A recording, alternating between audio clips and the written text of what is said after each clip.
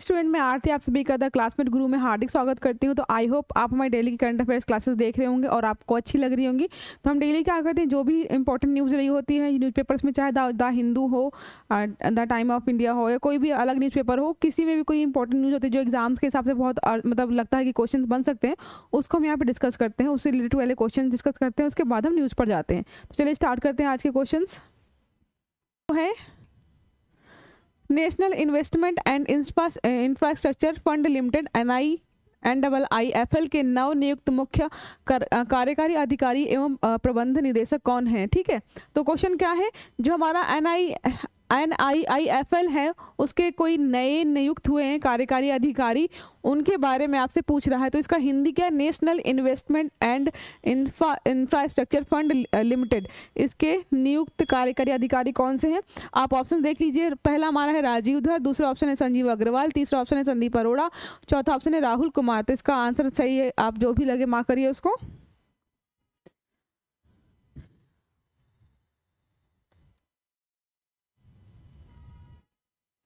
सही आंसर क्या है? संजीव अग्रवाल। ये इसका सही आंसर है। आई होप आपने इसको मार्क कर लिया होगा सही। ठीक है तो हम नेक्स्ट क्वेश्चन पर चलते हैं। नेक्स्ट क्वेश्चन क्या है हमारा? विश्व युद्ध अनाथ दिवस 2024 की थीम क्या है? ये मैंने आपको कल बहुत अच्छे से डिटेल में पढ़ाया था कि थीम क्या है, क्यों मनाया जाता है और कौन मनाता है, इसको कंडक्ट कौन कराता है। इससे रिलेटेड जितने भी इंपॉर्टेंट पॉइंट्स है, मैंने आपको कल डिस्कस कर लिए तो आप इसको कल देख लीजिएगा। लेकिन थीम वहाँ पर रह गई थी। मैं थीम बताना भूल गई थी आपको। तो मैंने ये क्वेश्चन के फॉर्म में आज सेट करी ताकि जो रह गया वो आपका कवर हो जाए। तो पूछ रहा है, अनाथ दिवस जो हमारा है विश्व युद्ध अनाथ दिवस बनाया जाता है हर साल। उसकी थीम इस बार की क्या रही है? तो क्वेश्चन पहला हमारा ऑप्शन क्या है? शांति और सद्भाव और विश्वास के बच्चे।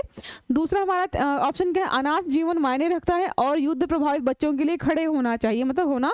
और तीसरा ऑप्शन क्या है? व्हील द वर्ड और फ्यूचर फॉर चिल्ड्रेन चौथा हमारा ऑप्शन क्या युद्ध रोके और अनाथों के लिए आशा। ये चार हमारे ऑप्शन दिए गए। जो भी ऑप्शन आपको सही लग रहा है उसको मार्क करिए। तो इसका सही ऑप्शन क्या है? ये भी होगा। अनाथ जीवन मायने रखता है और युद्ध प्रभावित बच्चों के लिए खड़े होना। ये युद्ध वाला और अनाथ वाला इसलिए भी रखा गया है। आपको पता अभी फिलिस्तीन और इसराइल में कितने युद्ध हो रहे हैं, कितने बच्चे मतलब बहुत सारे बच्चे अनाथ हुए अभी कुछ टाइम पहले कोरोना वायरस भी रहा, उससे बहुत सारे बच्चे अनाथ हुए। तो अनाथ बच्चों की संख्या बहुत बढ़ गई है दो चार सालों में। इसलिए इसलिए भी ये बहुत अपने आप में इंपॉर्टेंट हो जाता। आप इस पर ज़रूर नज़र बनाए रखिएगा कि इससे अगर रिलेटेड कोई नया पॉइंट या कोई नया आर्टिकल इन फ्यूचर आता है तो आप उसको ज़रूर ध्यान दीजिएगा, ठीक है? इसके में स्पष्टीकरण क्या है? इस वर्ष विश्व युद्ध अनाथ दिवस को दो शक्तिशाली विषयों के साथ मनाया गया है। अनाथों का जीवन मायने रखता है, पहला टॉपिक था हमारा। दूसरा क्या था? युद्ध प्रभावित बच्चों के लिए खड़ा होना, ये दूसरा टॉपिक था। ये विषय युद्ध प्रभावित बच्चों के समर्थन और सुरक्षा के लिए वैश्विक ध्यान कार्यवाही के लिए एक स्पष्ट आह्वान है। मतलब ये दो टॉपिक इसलिए चुने गए हैं ताकि देश की दुनिया के लोगों को बताया जा सके कि जो बच्चे अनाथ हैं, उनके लिए हमें खड़ा होना है, उन्हें सपोर्ट करना है, उनकी जो समस्या है, उनका समाधान करना चाहिए तो ये चीज़ें बहुत ही इंपॉर्टेंट रही हैं इसमें। नेक्स्ट हमारा क्वेश्चन क्या है तीसरा? भारत सरकार में एक समर्पित व्यापार क्षेत्र है, भारत पार्क। ये कोई नया क्या है? व्यापार क्षेत्र है, भारत पार्क स्थापित करने की योजना बन रही है, जिसमें वैश्विक दर्शकों वैश्विक दर्शकों के लिए भारतीय निर्मित वस्तुओं को प्रदर्शित करने और संग्रहित करने के लिए शोरूम और गोदाम होंगे। मतलब ऐसी कोई जगह बनाई जा रही है जहाँ पे बहुत सारे इंडियन जो इम्पोर्टेंट सामान है, वो भी होंगे तो आप उनको वहाँ से खरीद भी सकते हो। और अगर कोई भारतीय या विदेशी व्यक्ति उनको देखना चाहे, एक तरह के शोरूम में भी उनको सजाया जाएगा, ताकि आप देख भी सको। उसका नाम क्या दिया गया है? भारत पार्क दिया गया है, और वो कहाँ पे खोला जा रहा है? और इससे रिलेटेड आपका क्वेश्चन है, ठीक है? तो हमारा ऑप्शन क्या है? यूएई है पहला, दूसरा है अबू धाबी तीसरा हमारा इटली है चौथा हमारा ऑप्शन जापान है। तो इसका सही आंसर क्या है? इसका सही आंसर होगा यूएई तो यूएई ऐसी जगह है जहाँ पे हमारा ये भारत सरकार, भारत पार्क स्थापित किया जा रहा है। ठीक है? इसमें देख लेते स्पष्टीकरण क्या है। भारत समाधान। भारत सरकार संयुक्त अरब अमीरात यूएई में एक समर्पित व्यापार क्षेत्र भारत पार्क खोल रहा है। ठीक है? जिसमें वैश्विक दर्शकों मतलब विश्व के किसी भी कोने से कोई भी दर्शक वहाँ पे आ सकता है, चीज़ों को देख सकता है। वहाँ पे गोदाम भी होंगे शोरूम भी होंगे। फिर क्या है, केंद्रीय मंत्री पीयूष गोयल ने संयुक्त अरब अमीरात वाले सुरक्षित लेन देन के साथ भारतीय उत्पादों की अंतर्राष्ट्रीय खरीद की सुविधा में भूमिका पर ज़ोर दिया। मतलब कि जो पीयूष गोयल गोयल हैं, जो हमारे मंत्री हैं, उन्होंने ये डील साइन की है या इस चीज़ को लेकर के उन्होंने आगे दी बातें कही हैं, ठीक है? नेक्स्ट हमारा क्वेश्चन देखते हैं आज का। नेक्स्ट क्वेश्चन क्या है? स्टैनफोर्ड यूनिवर्सिटी और निम्नलिखित में से किसने मोबाइल अलोहा पेश किया है? एक रोबोटिक प्रणाली है जो कम लागत वाले पूरे बॉडी टेली ऑपरेटर के माध्यम से दुई मैनुअल मोबाइल हेरफेर की क्षमताओं को आगे बढ़ाता है। ये होगा मोबाइल मोबाइल अलोहा पेश किया है जिसने तो पूछ रहा है कौन सी कंपनी है या कौन सी मोबाइल फेर फेर की क्षमताओं को आगे बढ़ाने वाली ऑपरेशन कंपनी है। इसके बारे में पूछा है तो उसको उसके ऑप्शन देख लेते हैं हम। हमारा पहला ऑप्शन है सिस्को तीसरा ऑप्शन है गूगल डीप माइंड तीसरा ऑप्शन हमारा है टेक्स, टेक्सेल चौथा हमारा ऑप्शन है बूथ ए इसका सही आंसर मार्क करिए आप। इसका सही आंसर है गूगल डीप माइंड, ठीक है? तो क्या है इसमें क्या दिया है? स्टैनफर्ड यूनिवर्सिटी ने मोबाइल अलोहा ऐप, अलोहा पेश किया है, एक तरीके से मोबाइल पेश किया है, जो एक रोबोटिक प्रणाली है, एक तरीके से रोबोटिक प्रणाली है, कम लागत वाले पूरे बॉडी पूरे बॉडी टेली ऑपरेटर के माध्यम से दुई मैनुअल मोबाइल क्षमताओं को आगे बढ़ाती है। नवाचार जो गूगल डीप माइंड के मौजूदा अलोहा सिस्टम पर आधारित है। रोबोटिक सीखने में गतिशील और निपुणता को सबसे अच्छा लाता है। मतलब ये जो है गूगल डीप माइंड ने स्टार्ट किया है। एक तरीके से क्या है? मोबाइल ऐप मोबाइल है अलोहा, जिसने, किसने स्टार्ट किया है? गूगल डीप माइंड ने स्टार्ट किया। आप इसको बस इतना ही याद रखिए, इतना ही काफ़ी होगा आपके लिए, ठीक है? इससे ज़्यादा याद रखने की ज़रूरत नहीं है। नेक्स्ट हमारा क्वेश्चन क्या है आज का? भारत किस भारतीय राज्य ने गुणोत्सव 2024 की शुरुआत की है? ये क्वेश्चन है हमारा कि किस भारतीय राज्य ने गुणोत्सव जो पर्व है 2024 की शुरुआत की है? तो हम ऑप्शन देखते हैं। हमारा ऑप्शन पहला क्या है? पहला हमारा है बिहार, फिर असम है, केरल है, गुजरात है। जो भी ऑप्शन आपको सही लग रहा है उसको आप कमेंट बॉक्स में लिख बताइए ताकि हमें पता लगे कि हमारे कितने ऑप्शन सही हो रहे हैं कितने क्वेश्चन हम सही कर रहे हैं। तो ऑप्शन हमारे इसका सही क्या होगा? असम। तो हम असम राज्य है जिसने गुणोत्सव 2024 की शुरुआत की है। ये क्वेश्चन आपसे पूछ सकता है। तो फिर क्या है? असम सरकार ने 35 जिलों में फैले four three nine four three four nine eight सरकारी स्कूल के लगभग 40 लाख छात्रों के प्रदर्शन का मूल्यांकन करने के उद्देश्य से एक व्यापक राज्यव्यापी मूल्यांकन गुणोत्सव लॉन्च किया है। आपसे पूछ सकता है कि गुणोत्सव किस से रिलेटेड है? तो स्कूल के बच्चों से रिलेटेड है। उनकी उनकी मतलब क्या है? उनका जो छात्रों का प्रदर्शन है, उनके मूल्यांकन से रिलेटेड है और लगभग कितने सरकारी स्कूल शामिल हैं इसमें? तैतालीस हज़ार चार सौ अट्ठानवे स्कूल शामिल हैं इसमें, ठीक है? पैंतीस ज़िले शामिल हैं इसमें और लगभग चालीस लाख छात्र इसमें शामिल होंगे। तो एक अपने आप में बहुत बड़ी पहल है ये जो आसाम गवर्नमेंट ने स्टार्ट की है तो आप इसको याद रखिएगा। तो चलिए आज का हमारा जो सबसे पहला इंपॉर्टेंट टॉपिक है, वो है एलवन एलवन मिशन जो हमने हाल ही में लास्ट ट्वेंटी ट्वेंटी थ्री में सितंबर मंथ में भेजा है, उससे रिलेटेड न्यूज़ ये है, अभी फिर से चर्चा में रहा है, इसलिए मैं आपको बता रही हूँ इसके बारे में, ठीक है? तो क्या है एलवन है? Aditya L one reaches destination in orbit around L one जो आदित्य एलवन हमारा जो मिशन है, वो पहुँच गया है, अपनी डेस्टिनेशन अपनी ऑर्बिट में पहुँच गया अपने जिस कक्षा में उसको भेजना था, वहाँ पर पहुँच गया है। भारत का ये इस तरह का पहला मिशन है, सोलर मिशन जो हमारा है, जो आदित्य एलवन टाइप का मिशन है, जो एलवन एक तरीके से एक इंपॉर्टेंट जगह है। सूर्य और पृथ्वी के बीच में, ठीक है? मैं आपको इमेज के थ्रू आगे समझा दूँगी कैसी जगह है वहाँ पे। एक ऐसा पॉइंट है जहाँ पे स्टेबिलिटी रहती है, जो अगर वहाँ पे कोई हम मिशन भेजते हैं, वहाँ पे कोई हम सैटेलाइट भेजते हैं, वहाँ पे स्टेबल रहती है, इसलिए उसको लैंग्वेजियन पॉइंट्स के नाम से भी जाना जाता है। तो इस तरह का हमारा ये पहला मिशन था, इसको कितने साल के लिए भेजा गया मतलब कितने साल काम करेगा? पाँच साल काम करेगा ये। इसको भेजा गया दो सितंबर दो हज़ार तेईस को लॉन्च किया गया था, ठीक है? इसके बारे में देखते हैं आदित्य एलोन मिशन के बारे में। It is India first solar mission ये पहला मिशन है launch using the polar satellite launch vehicle P S LV P PSLV PSLV XL configuration के तहत भेजा गया है। इसको ऑब्जेक्टिव्स क्या है? हमने क्यों भेजा है? तो study sun outermost layer जो जो सूर्य की हमारी आउटर मोस्ट लेयर है, उसको हम मतलब स्टडी करने के लिए जो, जिसे कोरोना बोलते हैं एंड क्रोमोस्फेयर मतलब जो सूर्य का क्रोमोस्फेयर है और कोरोना कोरोना है, उसको हम स्टडी करने के लिए हमने ये मिशन भेजा है। तो आपसे पूछ सकता है कि जो हमारा एलोन मिशन गया है, उससे उससे हम सूर्य की कौन सी सतह की मतलब तहत किसकी मतलब किसकी जानकारी इकट्ठा करेंगे किसके बारे में हम जानकारी इन्फॉर्मेशन इकट्ठा करेंगे तो कोरोना की जब वो करेंगे हम चीज़ें जो भी हैं वहाँ पे सूर्य के चारों तरफ़ या क्रोमोस्फेयर की ठीक है? नेक्स्ट हमारा कहा collect data about coronal mass injection ejection which will also yield information for space weather uh, predictions मतलब जो भी वहाँ पे जो भी बॉडीज़ अवेलेबल हैं सूर्य के चारों तरफ़, वहाँ पे जो चीज़ें अवेलेबल हैं, उनके बारे में हम इसमें इन्फॉर्मेशन इकट्ठा करेंगे। वहाँ पे वेदर कैसे चेंज होता है सूर्य के चारों तरफ़, जो स्पेस में कैसे चीज़ें घटनाएँ घटित होती हैं, उनके बारे में भी हमें इससे जानकारी प्राप्त होगी। मेजर पे लोड्स क्या है? मतलब कौन कौन सी चीज़ें इस मिशन में जो हमारा भेजा गया है स्पेस क्राफ्ट उसमें कौन कौन सी चीज़ें एडेड थी ऑलरेडी आपसे क्वेश्चन पूछ सकता है कि ये पापा क्या है या एस्पेक्स क्या है या सोलेक्स क्या है ये आपसे पूछ सकता है। तो हमें थोड़ी थोड़ी जानकारी इसके बारे में या इसका फुल फॉर्म ही पता होना चाहिए ताकि हम इसको आ, मतलब पहचान सकें देख करके कि ये किससे रिलेटेड पहले तो हमें नाम याद रहना चाहिए कि ये एलवन जो मिशन हमारा भेजा गया है उसमें ही सारे पेलोड थे। पहला हमारा क्या है? V E L C visible emission line coronagraph ये है। नेक्स्ट हमारा है U I T the solar ultraviolet imaging telescope है, ठीक है। तीसरा हमारा एस्पेक्स है, Aditya solar wind particle experiment जो नेक्स्ट हमारा ये पापा है, किसी एग्ज़ाम में ही पूछा गया था कि ये क्या है? या इसका फुल फॉर्म क्या है? तो क्या है ये? सूर्य जो एलवन मिशन भेजा गया है, उसके साथ एक तरह से पेलोड है। इसका फुल फॉर्म क्या है? Plasma analyser package for Aditya. Aditya के साथ प्लाज्मा एनालाइज करने के लिए जो भेजा गया है, वो है। ये हमारा सोलेक्स क्या है? Solar low energy X-ray spectrometer है। और हेलो हेलोइज क्या है? हेलोइज क्या है? हाई एनर्जी एलवन और बाइटिंग एक्सरे स्पेक्ट्रोमीटर है। एंड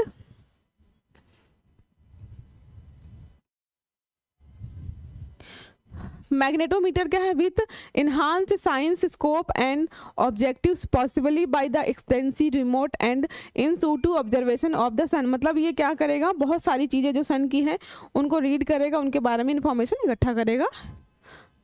नेक्स्ट हमारा इसमें क्या है? आदित्य एलवन मिशन क्या है? सिग्निफिकेंस ऑफ़ द मिशन क्या होंगे? इसके मतलब हम, इससे क्या क्या चीज़ें हम हासिल करेंगे? इससे हमें क्या क्या फ़ायदा होंगे? The data from Aditya L one mission will be immensely helpful in discriminating between difference models for the origin of the solar storm and the also contracting how the storm evolve and the what path they have take मतलब इस तरीके से इसमें क्या है? जो हमने Aditya L one mission भेजा, उससे क्या होगा कि मतलब सोलर सिस्टम कैसे बना है? वो कैसे काम करता है? जो सोलर प्लैनेट्स वगैरह हैं, वो कैसे मूव करते हैं, उनके मूवमेंट्स चेंज हो रहे हैं, नहीं चेंज उसके बारे में जो भी इंफॉर्मेशन है ना, वहाँ से आराम से देख सकते हैं। जब ये मिशन गया है, काम करना शुरू किया है तो इसने बहुत सारी इमेजेज ऐसी ऐसी भेजी जिनको देखेंगे, आप तो लगेगा कि कितनी खूबसूरत फ़ोटो जिसने वहाँ से लेकर भेजी है। ऑलरेडी इसने काम करना स्टार्ट कर दिया है।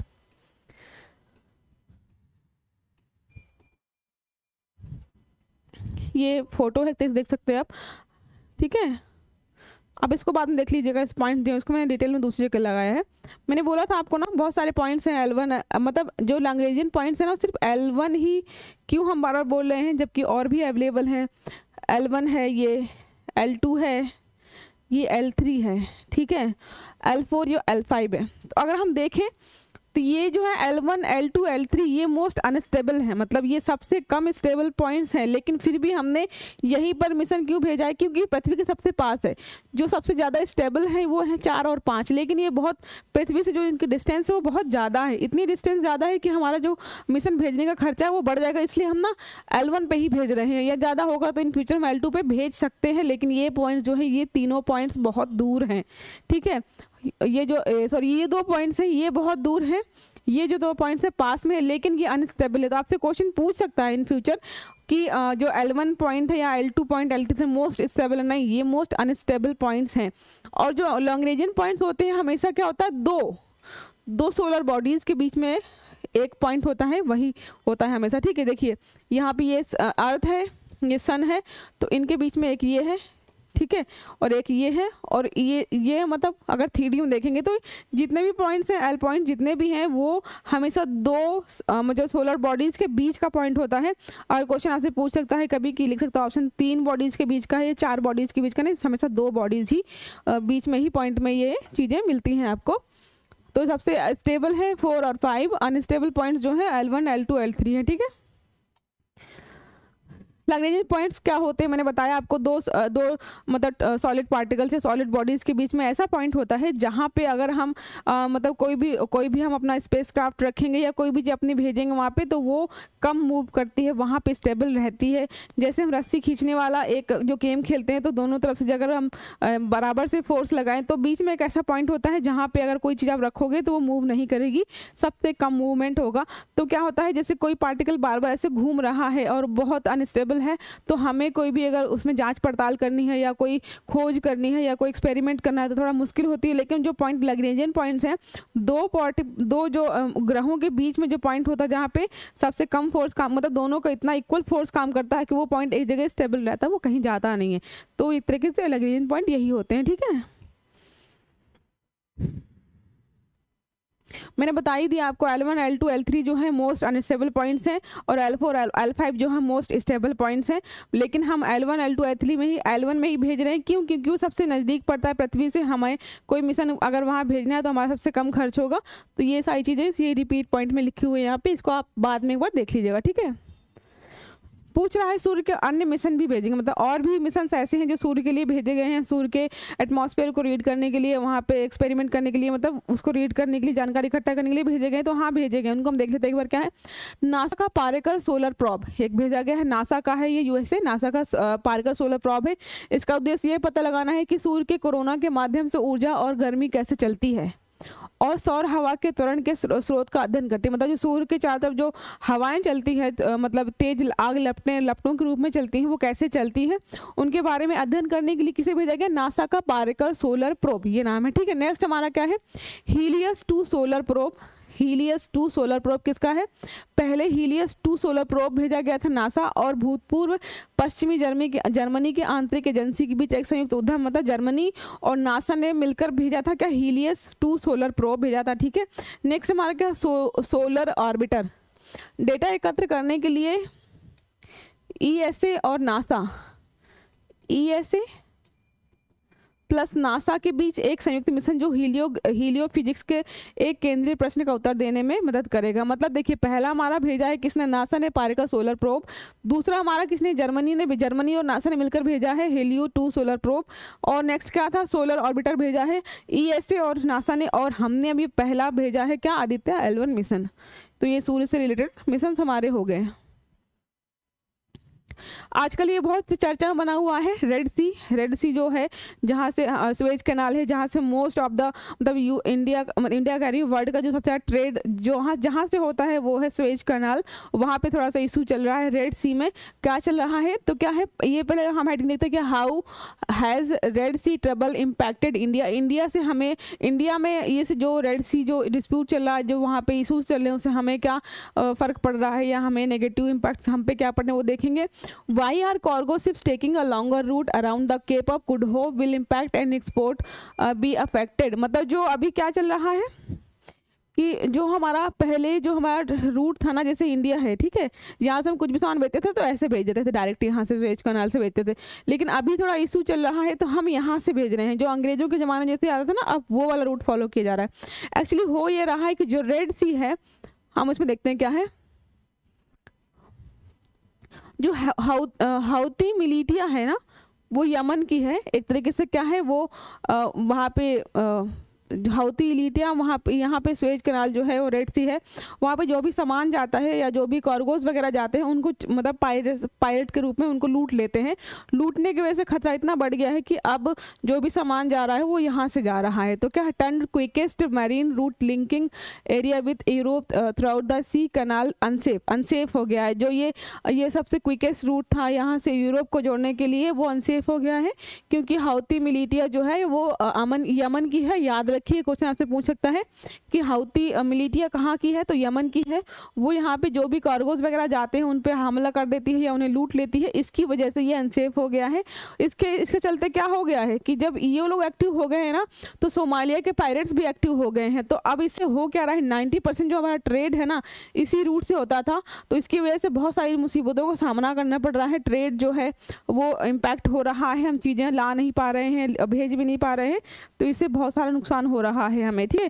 और हम क्या है क्रूड ऑयल वगैरह हो गया, जो ऑयल वगैरह है मतलब बहुत सारी चीज़ें यूरोप से ही मंगाते हैं, वो सारी ठप हो रही हैं। धीरे धीरे ये चीज़ें महँगी हो रही हैं तो ये बहुत नेगेटिव इम्पैक्ट पड़ रहा है इंडिया पर, ठीक है? फिर नेक्स्ट क्या है? चाइल्ड मैरिज से रिलेटेड एक हमारा आर्टिकल अभी आया हुआ है, हाल ही में महाराष्ट्र से रिलेटेड है, क्या है?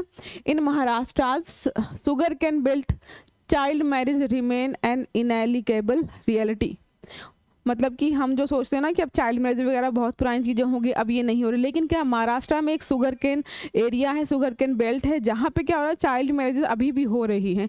वहाँ पे ये चीज़ें बहुत ज़्यादा देखने को मिल रही हैं उससे इशूज़ भी बहुत सारे आ रहे हैं कि बच्चों से शादी करवा, बच्चों की शादी करवा रहे हैं अंडर एटीन है दोनों, लड़का और लड़की उनकी शादी करवा रहे हैं, उसके बाद ससुराल वगैरह में बहुत सारी चीज़ें देखने को मिल रही हैं। उसी से रिलेटेड ये हमारा आर्टिकल है आज का। फिर क्या ministry of women and child development shows बताया है ministry of women and child development ने बताया है कि Maharashtra there are thirteen reported instances of child marriages in 2018 में। 2018 में कितने हुए हैं? थर्टीन 2019 में 20 हुए हैं 2020 में 50 हुए थे और 2021 में 82 केसेस देखने को मिले हैं। चाइल्ड मैरिज एक्ट के मतलब ये भी पूरी तरीके से ख़त्म नहीं हुआ ये।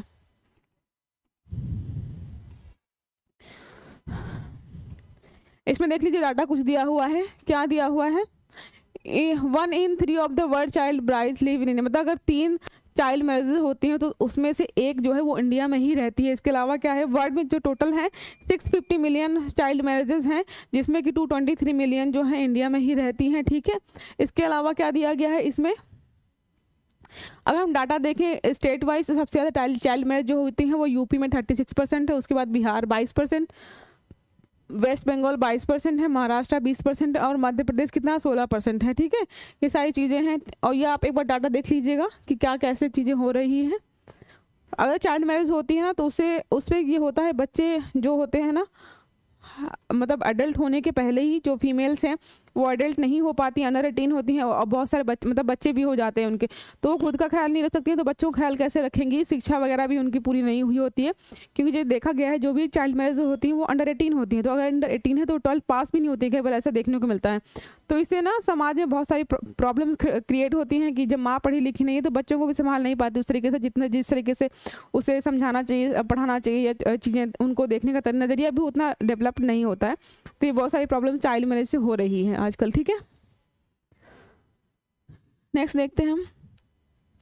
ये इमेज यहाँ पे एक बार गो थ्रू कर लीजिएगा, अगर आपको लगता है कि कुछ इंपॉर्टेंट है।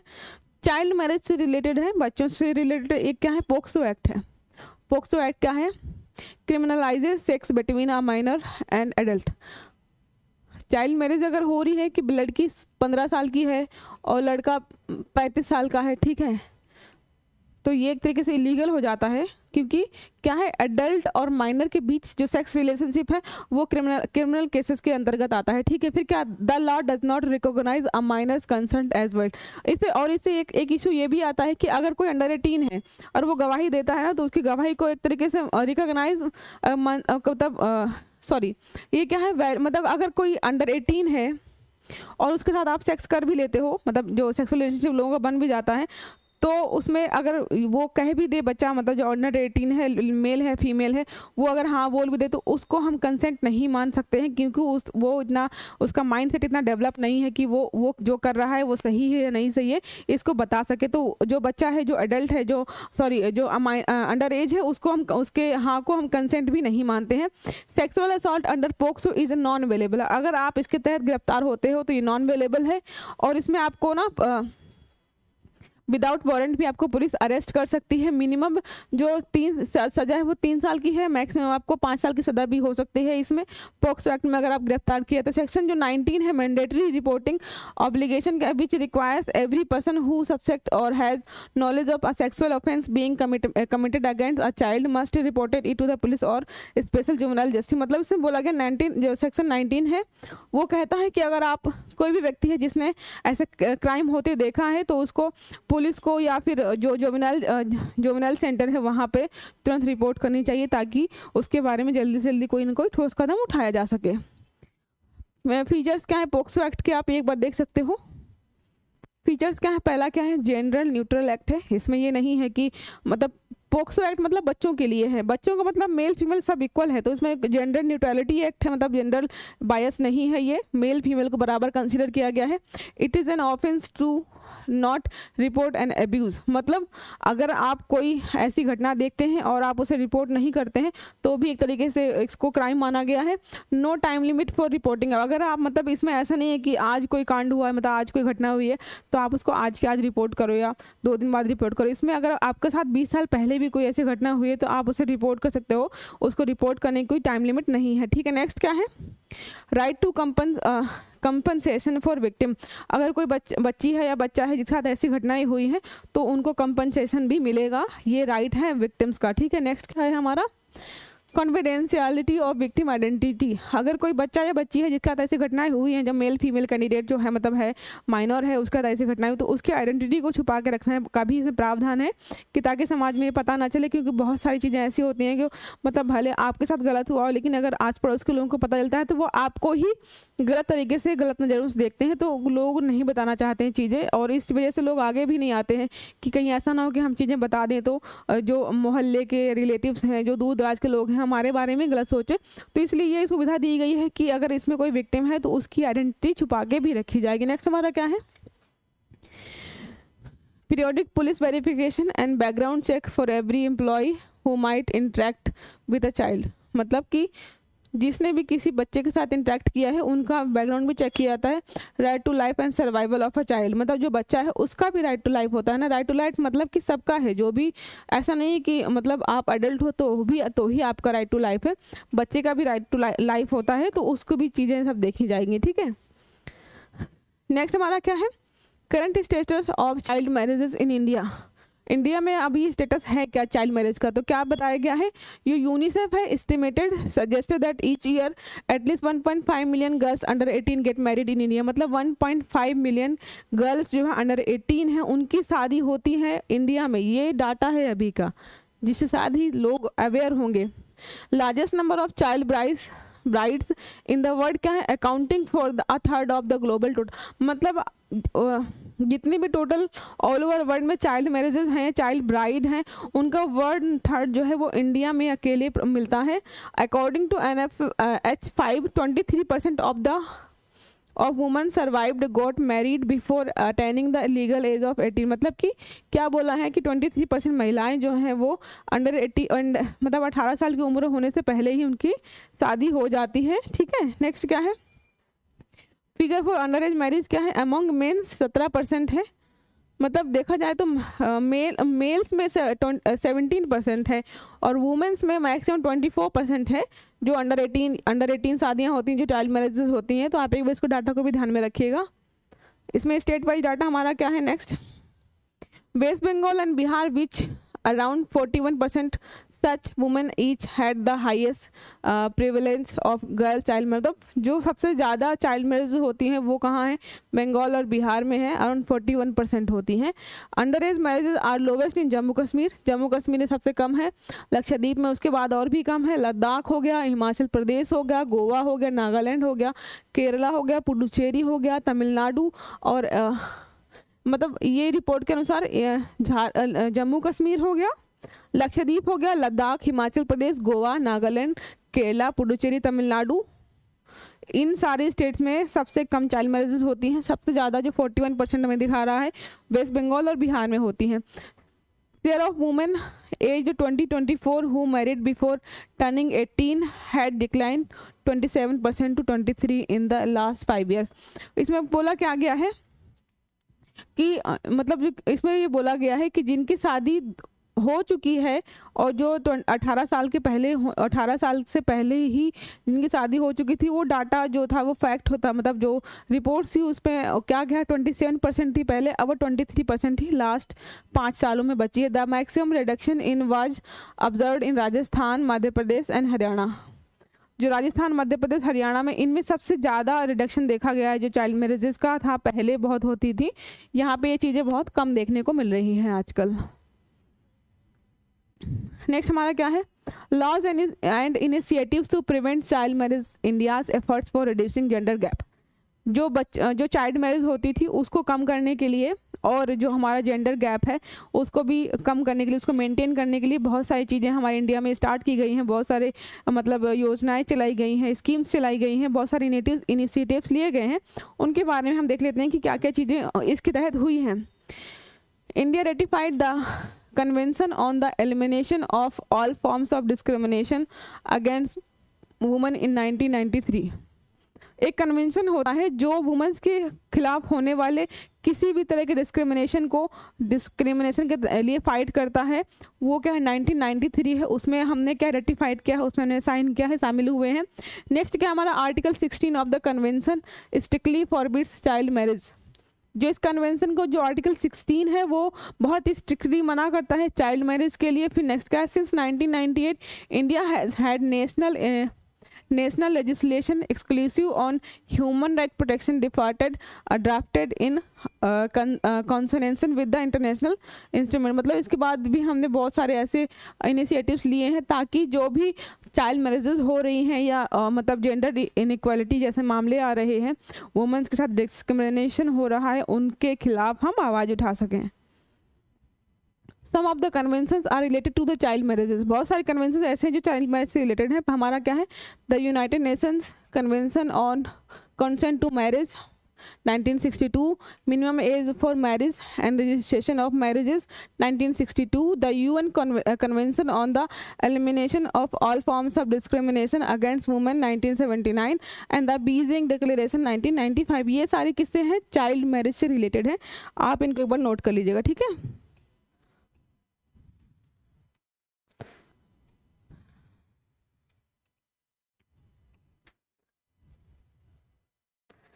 ये हमारा नेक्स्ट क्या है? हमारा आज का जो नेक्स्ट हमारा आर्टिकल है, क्या है? Government defects target to reduce road accident by 50 percent of the six year जो नितिन गडकरी हैं, उन्होंने अभी हाल ही में एक रिपोर्ट दी है या उन्होंने कहा है कि हम अगले छः सालों में जो हमारे रोड एक्सीडेंट्स होते हैं, उनको फिफ्टी परसेंट कम करने के लिए ट्राई करेंगे। हम उनके लिए बहुत सारी मतलब इनिशिएटिव्स लेंगे, योजनाएँ चलाएँगे ताकि जो डेथ रेट्स हैं, उनको कम किया जा सके। इससे रिलेटेड मैंने आपको बहुत इंपॉर्टेंट न्यूज़ है। दो तीन न्यूज़ हमने आपसे डिस्कस की है स्टेट वाइज भी डिस्कस की है नेशनल भी डिस्कस की है। तो आप पुराने वीडियोज़ देख लीजिएगा कल या परसों के। उसमें आपको मिल जाएगा जो रोड एक्सीडेंट से रिलेटेड हमने नई मुहिम चलाई है, या कितना डाटा कैसे डेथ हो रही हैं, कहाँ पे नेशनली इंटरनेशनली डाटा भी शेयर किया था मैंने कि वर्ल्ड वाइड कितनी डेथ होती हैं रोड एक्सीडेंट से इंडिया में कितनी होती हैं तो आप एक बार उसको चेक कर लीजिएगा, ठीक है? वो सारा सेम ही है क्योंकि इसमें देखो दिया गया है सिनेरियो क्या है, हमारे रोड एक्सीडेंट जो इंडिया में होते हैं 1.5 lakh people died from the road accident in 2021 मतलब 1.5 लाख लोगों की डेथ हो चुकी है रोड एक्सीडेंट की वजह से। According to NCRB driving under the influence of drugs and alcohol contributed मतलब जो दो परसेंट डेथ ऐसी होती हैं जो लोग ड्रिंक करके या ड्रिंक करते हैं या किसी और अल्कोहल या ड्रग्स वगैरह लेकर के ड्राइव करते हैं, उससे कम से कम दो परसेंट डेथ होती हैं। जो रोड एक्सीडेंट्स होते हैं, ठीक है? नेक्स्ट क्या है? Nearly ninety percent of death on the road were due to speeding overtaking and dangerous driving मतलब नाइन्टी परसेंट जो डेथ होती हैं, वो क्या होती है? स्पीड बहुत तेज़ है और अंडरटेक कर रहे हैं किसी चीज़ को। या क्या नेक्स्ट हमारा क्या लिखा है? डेंजरस ड्राइविंग कुछ लोग स्टंट्स मार के ड्राइव करते हैं ना, उसकी वजह से भी डेथ हुई है बहुत सारी। World Bank data from two thousand nineteen India's ranked first among the twenty top countries for the accident मतलब बीस जो कंट्रीज़ हैं ऑल ओवर वर्ल्ड की, उसमें इंडिया ने फ़र्स्ट फ़र्स्ट रैंक हासिल की है इस चीज़ में जो एक्सीडेंट्स होते हैं और जो उसमें डेथ होती हैं, ठीक है? नेक्स्ट हमारा क्या है? कॉजेज क्या है? पुअर विजिबिलिटी मतलब कि जब एक्सीडेंट कब होता है? जब मौसम ख़राब हो, बारिश हो रही हो, या फॉग वगैरह हो तो पुअर विजिबिलिटी के तहत होता है। नेगलेंस एंड रिक्स मतलब हम मतलब क्या करते हैं? बहुत स्पीड से चलाते हैं। पीछे व्हीकल आ रहा है या आगे कोई बड़ा व्हीकल जा रहा है, उसको हम नेगलेक्ट कर देते हैं। Tiredness of driving riding without a helmet अगर हम बिना हेलमेट के ड्राइविंग कर रहे हैं, उससे भी एक्सीडेंट्स होते हैं। डिस्ट्रैक्शन होता है, फ़ोन वगैरह पे बात कर रहे हैं और हम ड्राइविंग कर रहे हैं तब भी लोगों की डेथ हो जाती है। ओवरलोडिंग होती है, बहुत सारा सामान रखा हुआ है, चाहे कार हो बस हो ट्रक हो या बाइक वगैरह हो, बहुत बहुत बार ऐसा हो जाता है। वीक व्हीकल सेफ्टी स्टैंडर्ड्स मतलब जो हम व्हीकल यूज़ कर रहे हैं कार बस बस वगैरह ट्रक वगैरह, जो भी चीज़ यूज़ कर रहे हैं, हम उसमें ध्यान नहीं रखते हैं कि कौन सी चीज़ ख़राब है, ठीक है या अगर कभी कोई मुसीबत हुई तो ये काम करेगा, नहीं करेगा। फिर नेक्स्ट क्या है? लैक ऑफ़ अवेयरनेस लोगों को, बहुत सारे लोगों को पता ही नहीं होता कि अगर कहीं लिखा होता है कि दुर्घटना बाहुल क्षेत्र तो लोग ध्यान ही नहीं देते हैं कि क्या लिखा हुआ है। वहाँ पे लिखा होता है कि भाई स्लो चलाएँ, टर्न लें, लेफ़्ट लें, राइट लें। लोगों को, आधे लोगों को पढ़ना नहीं आता है अवेयरनेस नहीं होती है जिसके जिसके चलते भी एक्सीडेंट बहुत सारे होते हैं, लोगों की डेथ होती है। नेक्स्ट हमारा क्या है, इसी में क्या है? वही है ये मोटर व्हीकल अमेंडमेंट एक्ट दो हज़ार उन्नीस किया गया है। The carriage the carriers by road act 2007 किया गया है। The control of national highways है एंड लैंड एंड ट्रैफ़िक 2000 2000 ये दो, तीन जो हमारी इनिशिएटिव्स लिए गए हैं रोड एक्सीडेंट रोड सेफ्टी से रिलेटेड आप इनको एक बार देख लीजिएगा। और ये हमारा जो है ग्राफ इसको भी एक बार चेक कर लीजिएगा, जो भी चीज़ें इसमें दी हैं। अगर आपको लगता है कि कुछ इंपॉर्टेंट पॉइंट चलिए स्टूडेंट्स आज हम यहीं तक रखते हैं। आई होप आपको क्लासेस अच्छी लग रही होंगी। अगर आपको क्लास अच्छी लगे तो आप ज़रूर लाइक कर दीजिए। और हमारा यूट्यूब चैनल सब्सक्राइब कर लीजिए ताकि आपको आने वाले जो भी वीडियोज़ हैं, चाहे करंट अफेयर्स के हों या अलग सब्जेक्ट के सारे आपको मिलते रहें। तो आप चलिए अच्छे से पढ़ते रहिए और हमसे जुड़े रहिए। Have a good day thank you